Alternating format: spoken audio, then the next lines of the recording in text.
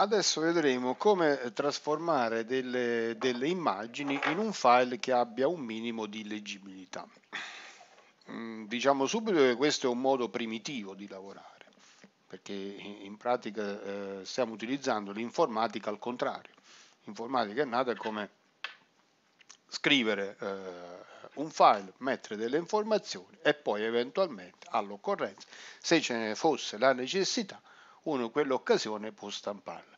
In questo modo stiamo lavorando al contrario, come eh, ultimamente sto notando che eh, sta lavorando l'utente medio, cioè uno scrive un documento a mano, poi gli fa una fotografia e poi successivamente questa fotografia va portata sul file, cioè proprio, eh, ecco non ho altre parole che definirlo un modo primitivo, però siccome è una, qualcosa che si verifica sempre più spesso, eh, vediamo almeno, visto che, che, non possiamo eliminare il problema, vediamo almeno come fare per, per eh, dare almeno un minimo di leggibilità a questi file. Allora, innanzitutto, qui abbiamo due, due file, due, due JPG che sono evidentemente delle immagini che sono state scattate con, con un telefono Vediamo un po' queste immagini a che cosa eh, corrispondono. Bah, immagine 1 è una verifica sotto sopra, immagine 2 è la stessa verifica sempre sotto sopra. Diciamo che questa è la peggiore delle condizioni possibili. Due immagini, uno che sono senza nome, due che sono sono appunto dicevo sotto sopra, tre sono state scattate ad un'altissima definizione, una è 3 mega, l'altra è 2 mega e 3, ehm, altissima definizione che è anche tutto sommato eh, inutile per dei file di testo. Comunque vediamo un po' come ehm, aggiustare questi file. Innanzitutto diamogli un ordine perché scritti così non significa granché image 1 è la prima pagina, image, image con la parentesi la seconda pagina, allora possiamo quantomeno dargli un nome significativo, cioè compito 01 e compito 02, che è già il primo passo, cioè dare dei nomi significativi a un file.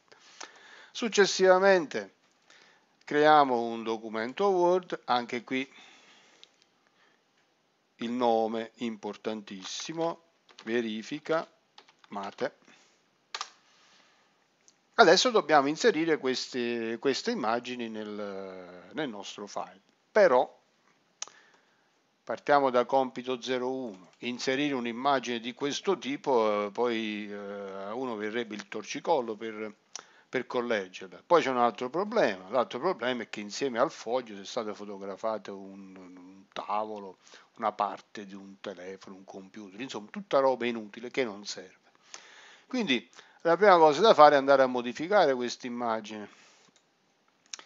Uh, quindi apriamo con modifica, apriamo con paint, ecco vediamo quello che dicevo prima, è stata fotografata con una definizione eccessiva, quindi la prima, prima cosa andiamo a ridimensionarlo, andrebbe bene anche il 40% in questo caso, bah, forse ho esagerato un po', però può, può andare, 40%. Poi successivamente andiamo a, ecco, facciamo così, andiamo a ritagliare, ho cambiato lo zoom ma l'immagine è la stessa, andiamo a ritagliare l'immagine prendendo solo quello che ci serve, quindi strumento seleziona, la ritagliamo, ma è anche storta, questo è il peggio che ci poteva capitare, comunque c'è tutto, copia, nuovo file, non salviamo niente di quello precedente, incolla e abbiamo già, già è qualcosa, abbiamo eliminato tutto ciò che non serve. Uh, passaggio successivo è quello di metterla dritta, quindi in questo caso qui la ruotiamo di a sinistra di 90 gradi ed eccola qui. Adesso già, già è meglio. Se vogliamo essere proprio un po' più precisi possiamo tagliare quest'altra parte di marrone qui. Vabbè, quell'altra ce la facciamo piacere. Ecco, così può andare. A questo punto la salviamo, salva con nome, andiamo eh, dove l'avevo, il tutorial che l'avevo messo qua, anche qui eh, diamogli un nome significativo, quelli erano compito, questa sarà verifica. 01 ecco fatto. Un procedimento analogo. Eccola qui. Volevo solo far notare come dai 3 mega beh si è passato a 2 2.054 per il semplice motivo che è stato trasformato in png io andrei a modificarla ancora nel salva con nome magari stavolta abbiamo esagerato png non, non serve. Facciamo una jpg jpeg ecco qui. È importante questo aspetto adesso si è ridotta a mezzo mega perché troppo spesso viaggiano dei file inutilmente corposi. Con una piccola accortezza abbiamo ridotto questo file da 3 mega a mezzo mega, cioè l'abbiamo ridotto di 6 volte, quella che è la sua eh, grandezza originaria. Eh, analogamente andiamo ad effettuare la modifica per il secondo file.